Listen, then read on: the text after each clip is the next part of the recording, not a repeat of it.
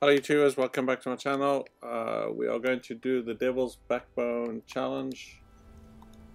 This is daily year, take a picture of a player at the ledge of the Devil's Backbone. So unfortunately you are going to need a friend again, so this is a non-solo challenge, unfortunately. Um, you've seen the trend of that.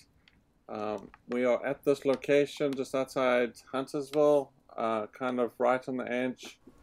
Um, there's nothing really much here. Uh, there's a bridge at the bottom. You can tell if you're in the right area. It's got a bridge. Looks like there's a flagpole down there. Um,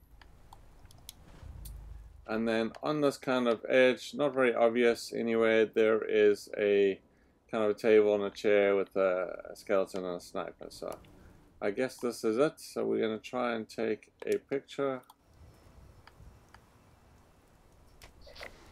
And there you go. So I don't think it'll work at the bottom. They do say they clearly do say it's on the edge so I'm pretty sure it's up there. You can actually just walk up around there. I just kind of walked over that way and up here jumped up here so pretty straightforward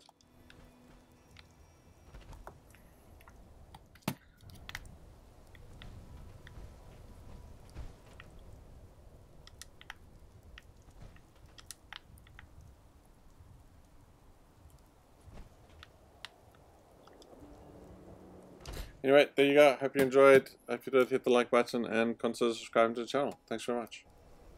So again, just on the map here. Kind of, there's a windy path. It's kind of, if you're on this road, yeah, I think that's where the bridge is, probably, yeah. And you can just kind of walk up here this way and then you should be able to find it. It's a little bit lower than uh, the top edge, so there's still a bit of a cliff behind us. Got these bunch of trees, yeah, just to the right here.